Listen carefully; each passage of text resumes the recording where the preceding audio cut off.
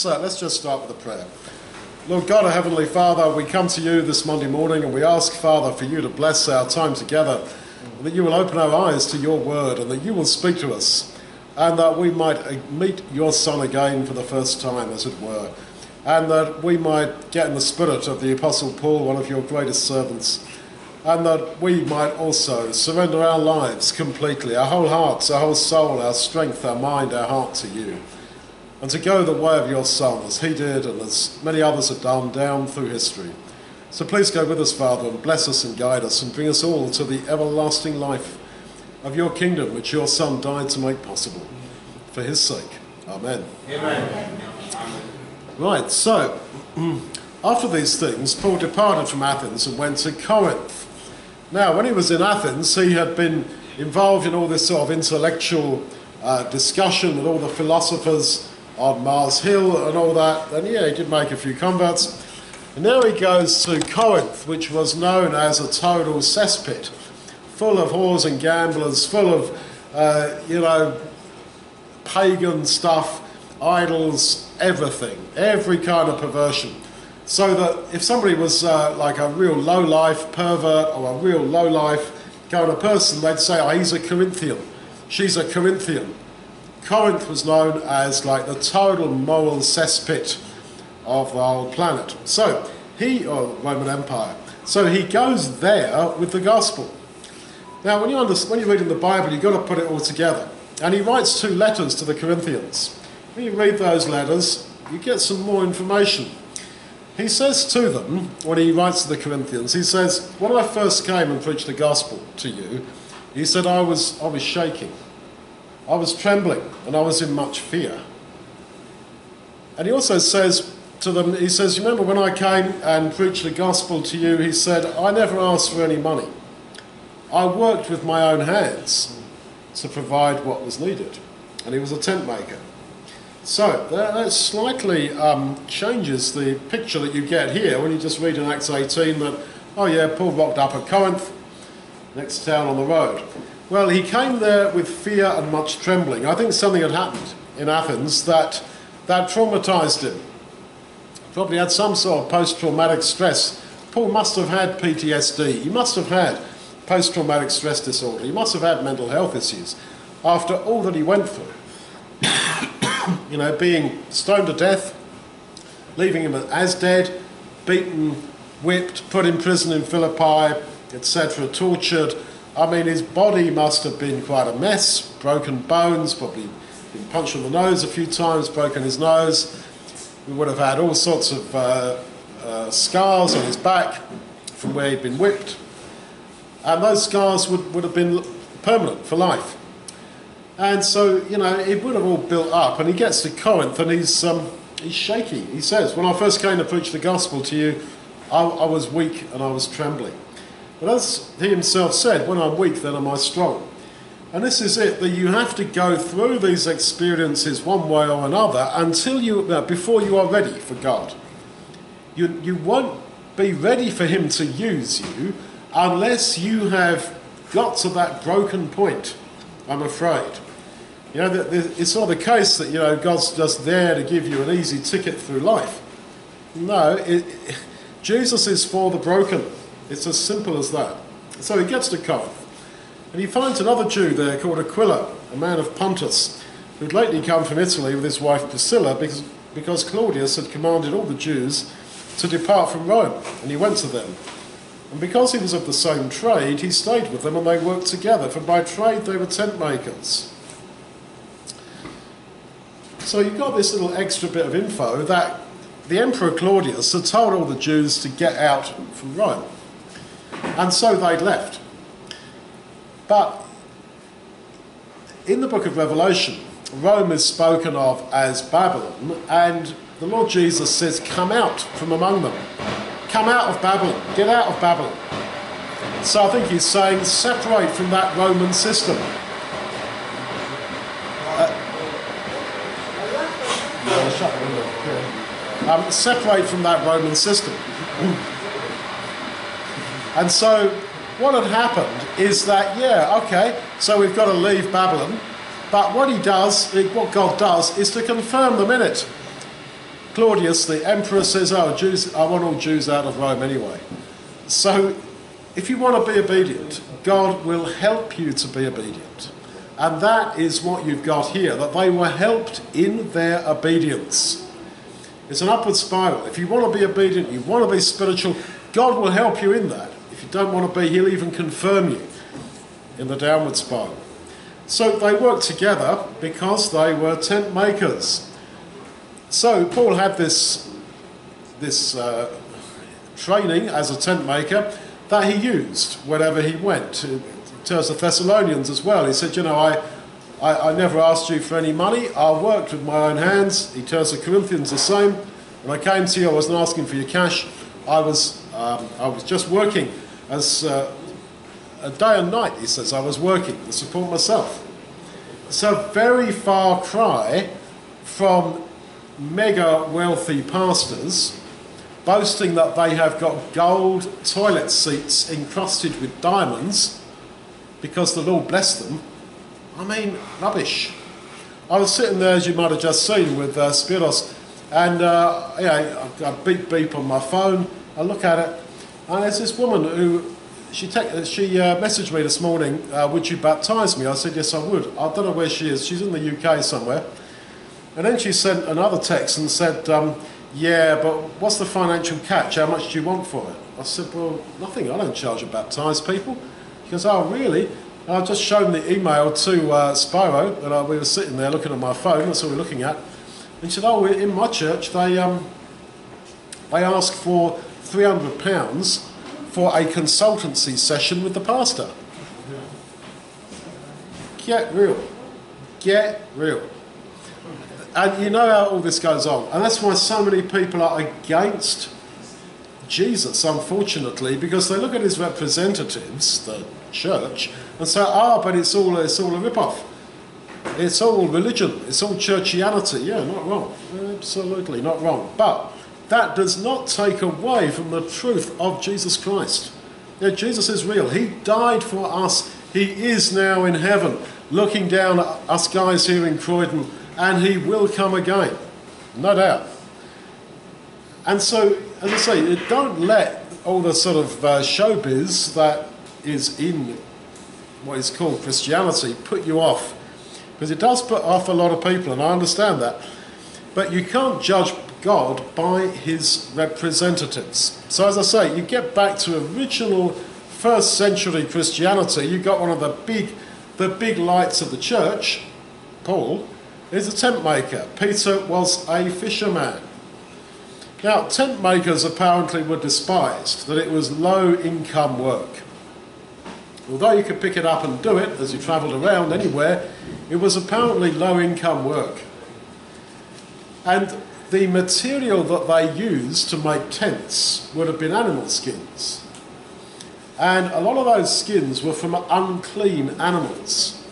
So I think this this trade, as it were, made Paul ritually unclean under the law of Moses. So you see how God, in the bigger picture, gently, very gently, God is so gentle, He very gently, bit by bit, inch by inch, leads you to truth. He leads you to understand.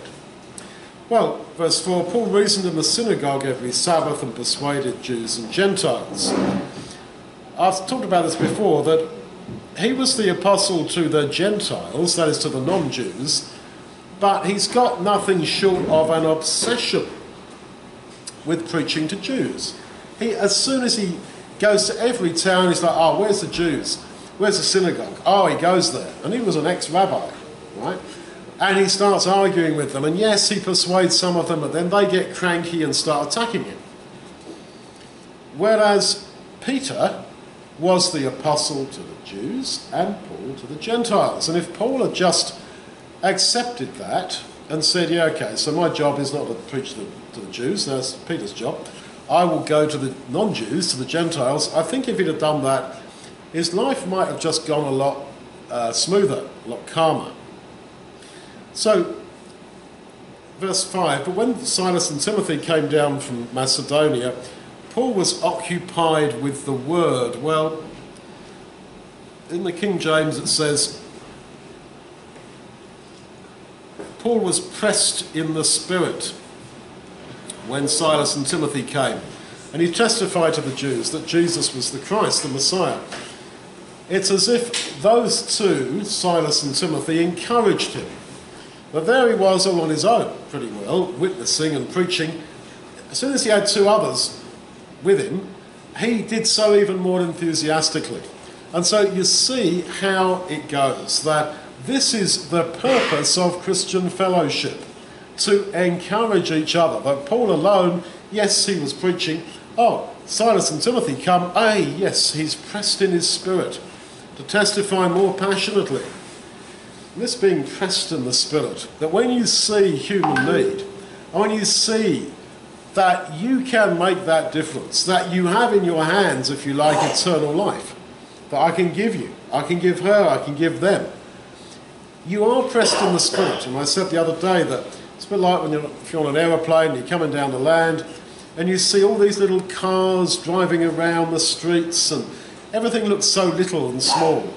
You think, oh, yeah, your heart bleeds for humanity in its lostness. You stand on the corner there, on the main drag here in, in Croydon, there's people, heave, people are heaving past you, loads of people.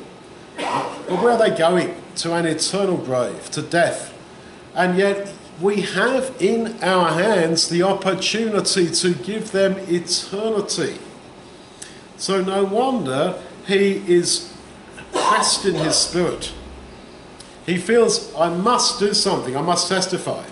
Now, all of us are shy. All of us are shy. And even if you're an extrovert, when it comes to preaching the gospel, probably you are, we all are nervous to uh, get a word in for the Lord. Conversations go, and oh, how can I swing that conversation round to the Lord? Even if you're an extrovert, there's some barrier and shyness in all of us. But when you see the, the need that there is in humanity, and you see that you and me have got the opportunity to actually give somebody eternity, you know, that is honestly like you are you're, you're standing there on the street corner with like literally millions of pounds in your hand. And you know that you've got another stash of like 100 million round the corner sitting in, in your friend's van. You know, and you're giving it out to people. You want to give it away. Uh, and it's even more so with the, the priceless message of eternity. You, we are pressed in the spirit that I want to give this away. Well, verse 6 they opposed themselves and blasphemed. When they did this, he shook his raiment and said to them, Your blood be upon your own heads, I'm clean. From henceforth I will go to the Gentiles. Like I'm giving up with you guys, you Jews, I'm going to preach to the Gentiles. He says this so many times. and he gets cranky and ratty with the Jews, he goes, Oh, yeah, I'm giving up with you guys. I'm going to preach to the Gentiles. But he keeps on coming back to the Jews. Example here. So he, he says, Right, uh, henceforth from now on, I'm going to the Gentiles. Verse 7 He departed thence, and what does he do? And he entered into a certain man's house called Justus, one that worshipped God, that is, he was a uh, sort of a, a, convert to Judaism, whose house joined hard to the synagogue. And Crispus, the chief ruler of the synagogue, believed on the Lord with all his house, and many of the Corinthians hearing believed and were baptized. So he says, Oh, I'm giving up with the Jews, I'm going to the Gentiles. What does he do? He goes and, and rents the house next door to the synagogue. You can't leave him alone, can he? And he baptizes Crispus, the chief ruler of the synagogue. I've spoken about this before, and I'll say it again that he, it's not that he sinned, but it's that he made life harder for himself than it needed to be. By continually provoking the Jews, especially him as an ex rabbi, he was only making them get really worked up and narky and cranky with him. He'd gone the Gentiles, it wouldn't have been such a problem. And this eventually leads to, I think, to his arrest, his death in Rome, etc., where maybe it needn't quite have happened, and all the years he spent in prison, maybe. That was because the Jews had falsely accused him. And I said that when we are looking at Acts 16, that when he sails to preach to the Gentiles the first time, Luke's with him, and Luke says, We had a straight course to, uh, like going to Philippi, going to Greece, as we would call it. He said we had a straight course. And in those days, sailing ships, the wind was really it's important which way the wind was blowing. If the wind was blowing against you, you're going to very you're not going to get there. Yeah, because you're trying to go against the wind. And if the wind is blowing that way to an angle, well, you're going to have to tack to try to keep on course. But when he went, the first time really to, to go out, out preach the, the Gentiles and responded to, to the Macedonian call to take the gospel to us here in Europe, the wind was directly behind him, blowing him directly on the boat, directly to where he needed to go. And the wind is the Spirit. In Hebrew and in Greek, it's the same word for wind as spirit, pneuma in, uh, in Greek and ruach in, in Hebrew. It means both wind and spirit. And so they, the, the idea is that God's Spirit was directly behind him. Uh, do you want to go to KFC? Oh, oh, yeah. So God's Spirit was directly behind him, blowing him directly on the course. But every time he tries to get caught up with arguing with the Jews, it gets problematic. So, was he doing the wrong thing by preaching to the Jews? Well, no. But he's making life harder for himself. And as I say, there are things in life that we do that are sin, and a sin is a sin. But you can also not quite go the ideal way that God intends for you, and you don't have to make life harder for yourself than it needs to be. So, the great thing is to keep on saying to the Lord, What do you want from me? What is your hope for me? You know, Paul says, Ephesians, there were good works that were set up for us to do before the foundation of the world. We say to him, What, what do you want from me? What would you like me to do for you, Lord? And that man is never better than when he is doing God's work, going God's way, doing what God wants, and being empowered. So he still he can't leave the Jews alone. He goes back, rents the house basically next to the synagogue, part of the same building. It says it joined hard to the synagogue. He baptizes a lot of people.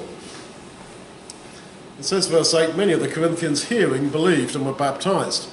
I think he had that in mind when he wrote to the, to the Romans faith comes by hearing, or belief comes by hearing, and hearing by the word of God. So you don't just believe just like that. Faith has got to have a basis, and that basis is in the Word of God. that's why I keep encouraging you to read the Bible for yourself. Because faith comes by hearing, and hearing by the Word of God. So these Corinthians heard the Word, they believed, and were baptized. It's a seamless process. Then spake the Lord, that's the Lord Jesus, to Paul in the night by a vision. Be not afraid, but speak, and don't hold your peace, for I am with you. No man will sit on you to hurt you, for I have much people in this city. He continued there a year and six months, teaching the word of God among them. So Jesus has to appear to him in a night vision and say, Do not be afraid. Don't keep quiet. Preach. So this rather changes our view of Paul, that Paul is not sort of this fearless, macho sort of bloke who just turns up and stares death down in the face. Are you going to kill me? Yeah, go. No, that's how you can think of Paul. But I don't think that's right. You get the impression here of a man who's frightened, a man who's nervous, to whom Jesus has to appear and say, Go on, don't be quiet, Paul. Speak. I am with you. No one's going to hurt you. It is almost how you might talk to a child. I'm with you. No one is going to hurt you. And as I say, when he writes to the Corinthians, he says, You remember, because they were saying, Oh, you're no good, Paul, we're going off with someone else now. And he says, Look, don't be so tough on me. Don't you remember when I first came and preached the gospel to you? He said, I came to you shaking with fear. I was trembling. I was in much weakness. But God's strength is made perfect in weakness. It was to the Corinthians that Paul wrote that. And so what he's saying is, is that, or what we get from this rather, is that Paul was very nervous and very weak. And yet that weak Paul was used by God. And so it is through weakness It is through weakness that we will be used. That's why if you're proud and arrogant, you won't be. And as I say, when people get confused by churchianity and they see proud, arrogant pastors and priests and all the rest of them, with all this money and all this power, they're like, nah. Uh, something's, there's a big mismatch there. And don't forget, we're following a man, the Lord Jesus, who we're told had nowhere to lay his head. He was a carpenter, the son of a carpenter, as was thought. He was a manual worker who was not a wealthy guy at all. So, I am with you. It's a very simple statement from Jesus I am with you. And that is actually uh, taken out of the Great Commission, where Jesus says, Go and preach the gospel into all the world. I am with you to the end of the age. So it's as if if you really want to commit yourself to sharing the gospel with people, you will have a very special presence of Jesus with you. And Jesus says, I have much people in this city, so therefore keep on. The implication is if you don't keep on, that's not going to happen. In other words, potentially there are people that the Lord Jesus can use and take for himself. But if we don't do our part, then they won't be saved. So that's a wonderful thing that he's dealing with potentials, and yet we can let the baton drop. We can fail him. We don't want to do that. We don't want to fail him. We want to make it real and to, to not betray his trust of us. It's like, you know, as Paul again says, we have been entrusted with the gospel. Like God took a chance on us and said, Look, I trust you to do the work. Now, I hope you're not going to mess up. I hope you're going to do it.